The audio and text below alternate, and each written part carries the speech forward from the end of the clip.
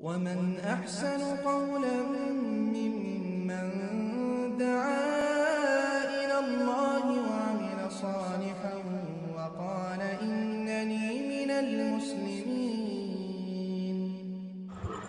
ওয়ালাইকুম আসসালাম রহমতুল্লাহ একজন প্রশ্ন করেছেন অনেকে দেখা যায় ইসলামের পথে আসার পর তাদের আগের জীবনের পাপের কথা বলে যে আমি এটা করতাম ওইটা করতাম আলহামদুলিল্লাহ এখন হেদায়ত পেয়েছি এগুলো বলা কি ঠিক কারণ নিজের গুণাহ তো লুকিয়ে রাখা উত্তম। জি, আপনি যেটা বলেছেন, ঠিক বলেছেন। অনেক মানুষ এমনটা করে থাকে, কিন্তু এগুলো উচিত নয়। আপনার প্রশংসা যদি আপনি নিজেই করেন, তাহলে এটা কি হলো? আপনার প্রশংসা আপনার সাথের লোক বা আপনার বড় যারা রয়েছে, তারা প্রশংসা করবে।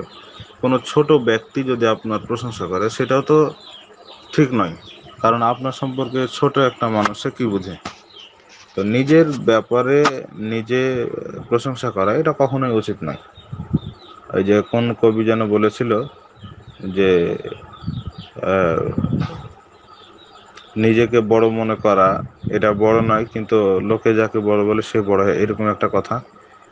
তো মানুষ আপনার আচরণ দেখে, আপনার বেশভূষণ দেখে তারা বলবে, সেটা তাদের বিষয়। কিন্তু তাদের কাছেও কামনা করতে হবে না। উত্তম প্রতিদিন আল্লাহর কাছে চাইতে হবে। বাকি পাপের বিষয়গুলো প্রকাশ করা, এটা আল্লাহ রসুল নিষেধ করেছেন। আল্লাহ রসুল বলছেন কুল্লু উম্মতি খাতায়। আল্লাহ তালা আমার উম্মতের প্রত্যেককে ক্ষমা করবেন।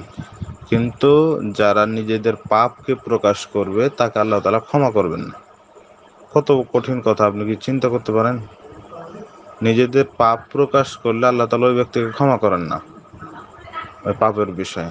এই জন্য এগুলো প্রকাশ করার কোনো প্রয়োজন নাই। আপনি কতটুকু ভালো, আপনি কতটুকু করছেন, সেটা আল্লাহ তাল্লাহ দেখছেন। আল্লাহ সন্তুষ্টির জন্য কাজ করে যাওয়ার চেষ্টা করতে হবে। আল্লাহ আমাদেরকে কবুল করেন নামেন আসসালামু আলাইকুম রহমতুল্লাহি আবরাকাতুহ